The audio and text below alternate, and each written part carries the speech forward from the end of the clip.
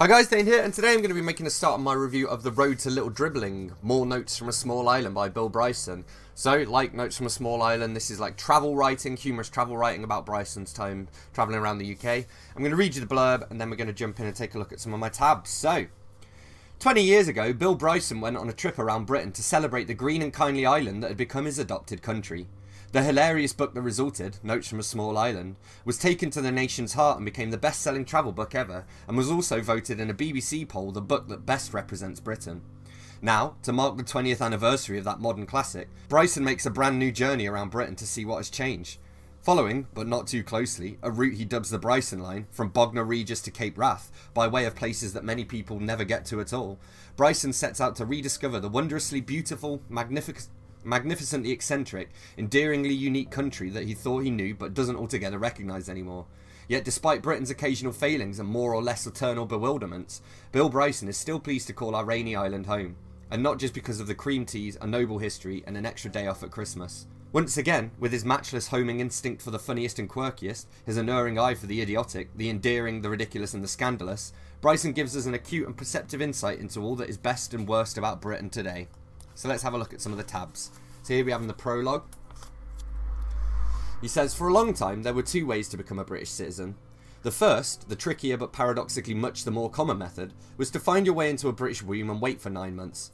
The other way was to fill out some forms and swear an oath. He was talking about some mag magazine articles here, and this, this tickled me. He said, My favourite article, it may be my favourite thing in print ever, concerned an actress who took revenge on her feckless partner by charging a £7,500 vaginal makeover to him. Now that is what I call revenge. But what, pray, do you get with a vaginal makeover? Wi-Fi? Sauna? Regrettably, the article failed to specify. This tickled me here, he said. he said the world is full of shitty things that should never have happened. Look at Eric Pickle. Uh, and this was interesting here. He says, Taken all in all, it has long seemed to me that Britain is just about the perfect size for a country. Small enough to be cosy and embraceable, but large enough to maintain a lively and independent culture. If the rest of the world vanished tomorrow and all that was left was Britain, there would still be good books and theatre and stand-up comedy and universities and competent surgeons and so on. Plus England would get to win the World Cup every time and Scotland would always qualify. This cannot be said of many other nations. If Canada were the only country to survive, the world would be a nicer, politer place, but there would be way too much ice hockey. If it were Australia, you'd have terrific barbecues and surfing, but a greater dependence on Kylie Minogue for musical entertainment than is, with respect, ideal. Uh, this is a crazy statistic here. He says, according to Time Out magazine, at any given moment there are 600,000 people on the London Underground, making it both a larger and more interesting place than Oslo. And uh, this was interesting, like, just the, well, I'll just read it out and you'll see why it's interesting.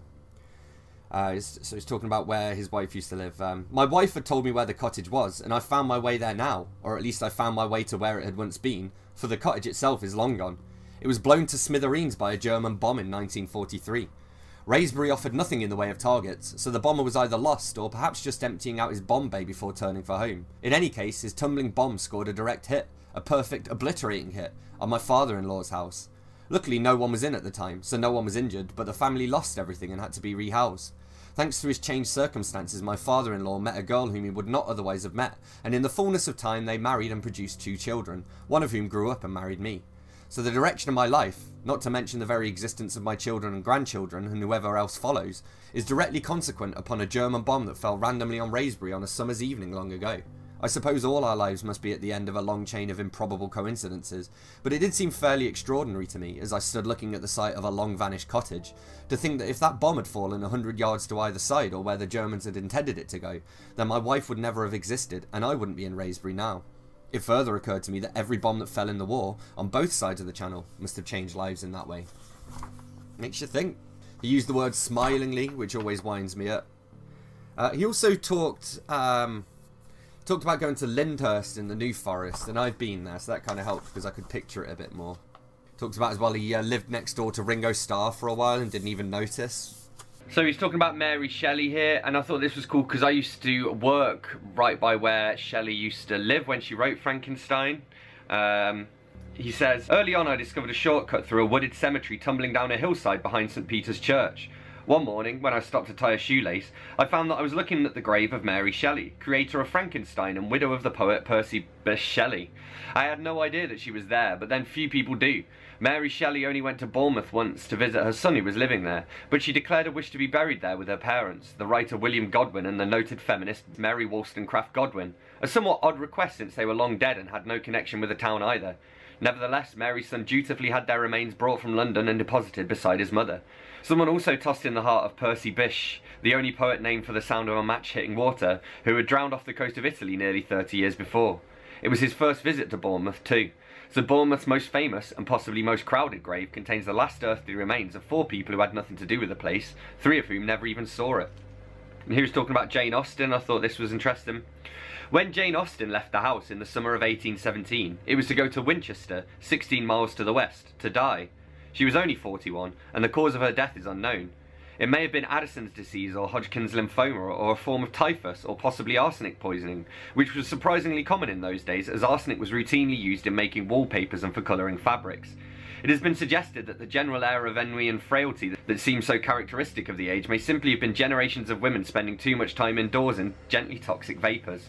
Here he's talking about somebody called uh, Alexander Keiller and he says, when he was not hurling his money into foolish business ventures, Keiller devoted himself to exploring the range of sexual practices, as the Dictionary of National Biography delicately puts it. According to his biographer Linda J. Murray, Keiller bemused a young woman named Antonia White by asking her to climb into a laundry basket wearing nothing but a mackintosh so that he could poke her through the wickerwork with an umbrella. And here he's talking about the Cavendish Laboratory. Uh, he says, Somebody once observed to me that probably no small patch of earth has produced more revolutionary thinking than an area of a few hundred yards across in the centre of Cambridge. Here you had Isaac Newton, Charles Darwin, William Harvey, Charles Babbage, Alan Turing, John Maynard Keynes, Louis Leakey, Bernard Russell, and more than we could list here.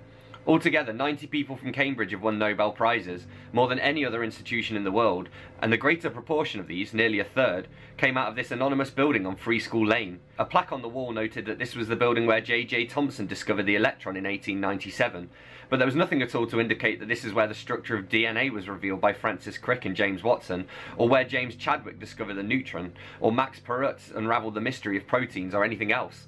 29 members, 29 members of the Cavendish have won Nobel Prizes, which is more than most countries. Four members won in 1962 alone. James Watson and Francis Crick in physiology or medicine, and Max Perutz and Sir John Kendrew in chemistry. He talked about the Pitt Rivers Museum in Oxford, uh, which I've been to a bunch of times, probably about a year ago most recently. Then he goes along Iffley Road, which is a road I used to walk on quite a lot because my uh, girlfriend used to live down there, my ex-girlfriend. So he says, a walk to Iffley had the additional advantage of taking me down the Iffley Road and past something I have been curious to see for some years. The track where Roger, Roger Bannister ran the first sub four minute mile in the spring of 1954. And yeah, I used to walk past that probably twice a week maybe. And uh, here he tells the story of how that happened as well, which is kind of cra crazy. It's a terrific story. Bannister was a young doctor in London. He had no coach or manager. He trained for just half an hour a day. On the day of the race, he went to work in the morning, then travelled up from London by train. He walked to a friend's house in North Oxford, that's at least two miles from the station, for a lunch of a ham salad before accepting a lift to the track in the late afternoon. It, could, it would be hard to imagine circumstances less likely to produce a world-class result. The track was made of cinders, an impossibly awkward surface for running. It was Bannister's first race in eight months. Until fairly recently, runners trying for world records had been permitted a large measure of latitude to help them get the best possible outcome. When the British runner Sydney Wooderson had set the world mile record of 4 minutes 6 seconds 16 years earlier, one of the other runners was given a 250 yard head start so that he could serve as a pacemaker. But such help was no longer countenanced. Bannister would enjoy no special assistance. Bannister achieved his record time by pushing himself to the very limit of human capability. The photograph of him collapsing into the tape at the finish line was one of the iconic images of my childhood. Apart from the photographer and a few officials, hardly anyone saw the race. His winning time was 3 minutes 59.4 seconds. He was so spent at the finish line that he was almost unconscious, as he notes in his autobiography. Then he talks about uh, the Staffordshire Hoard, which is an Anglo-Saxon hall found buried just inches beneath the surface on a farm near Lichfield in 2009. And Lichfield is like probably about four or five miles away from where I grew up. Here's a little story about Americans and geography. Uh, it says, Jennings relates the story of an assistant professor at the University of Miami named David Helgren, who had given freshman students a blank map of the world and asked them to locate 30 well-known places. He expected mixed results, but what he found was that the students mostly couldn't do any of it. 11 who were from Miami couldn't even locate Miami. The Miami Herald picked up the story and then it became national news. Helgren was interviewed by lots of newspapers and film crews. And how did the University of Miami respond to this? It fired Helgren. When a colleague spoke up on Helgren's behalf, it fired him too. And I thought this was interesting because he's talking about how tax works with food in the UK. Basically, businesses have to pay more tax if you eat in. And so they quite often pass that on to the customer. So like Greggs, for example, where they sell like pasties and sausage rolls and stuff, it's like 10p more to buy if you if you're eating in. He says, the idea of charging tax on food eaten in a restaurant but not on food taken away from it is completely backwards if you ask me. It rewards people for taking packaging out into the wider world where much of it ends up as litter and imposes a surcharge on those whose leftovers are responsibly disposed of indoors and whose plates and cutlery are more likely to be washed and reused. That seems the wrong way round to me. In my experience, in many establishments like Starbucks and Pret a Manger, they don't always ask if you're eating in or taking away, and they certainly don't monitor to see if you're being truthful. And why would you tell them when all being honest gets you is a metal tray? Altogether, Britons spend £12 billion a year on takeaway food. VAT on that would raise £2.4 billion. You could build a lot of schools and hospitals with that, or just sweep up streets more effectively. Perhaps you could use it to buy some litter bins. There is no country in the developed world, not one, that has fewer litter bins on its streets than Great Britain. And there is not one country in the developed world, again, not one, that has more litter on the ground than Great Britain. Does anyone here see a relationship? So he says here, uh, Leyburn is not the most attractive of places, but it is the starting point for a wonderful secret walk. Behind the shops at the western edge of the marketplace is a wooded bluff called Leyburn Shawl, which runs for nearly two miles high above Wensleydale and provides the most magnificent views. According to legend, it got its name when Mary, Queen of Scots, dropped her shawl there while trying to escape from nearby Bolton Castle, where she was held prisoner for six months in 1568. The problem with this story is that shawl isn't first recorded in English until 1662, long after Mary had a neck to wrap anything around. The Oxford English Dictionary doesn't have an entry for shawl as a landscape feature, which is a curious oversight, but there you are. But what if it's the other way round and the, the word shawl comes from the place?